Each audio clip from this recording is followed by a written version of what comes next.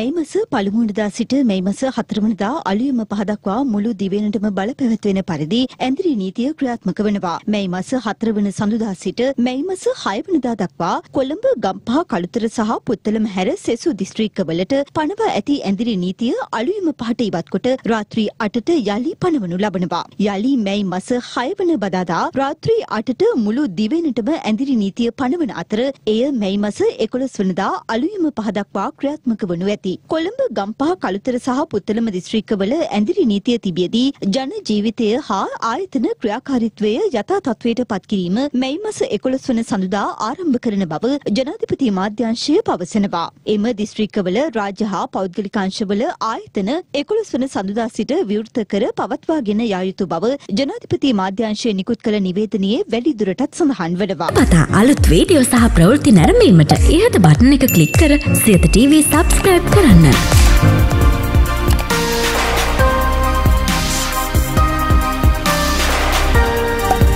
අලුත් වීඩියෝ ගැන මුලින්ම දැනගන්න මෙම සීනුව කලික් කරන්න.